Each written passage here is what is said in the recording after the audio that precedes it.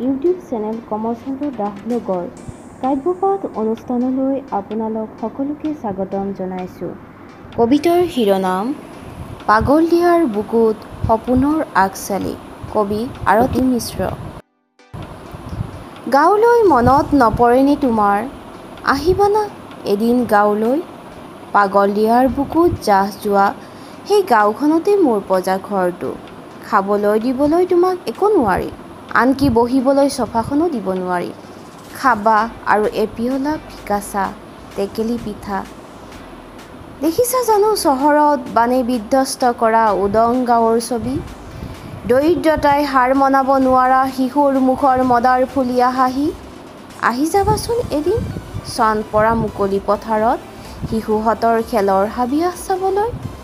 ৰবাব টেঙাৰ ফুটবল নাৰিকল পাতৰ চচমা পিন্ধি ক্ৰিকেট খেলা দিনবোৰ?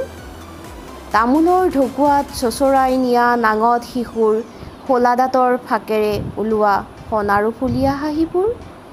সন্ধিয়াৰ প্ৰজাতিত ধিমিক ধামাক পোহৰত নেওতা আওৰাই মুখস্থ মাতি ডাঙৰ মানুহ হোৱাৰ সপোন?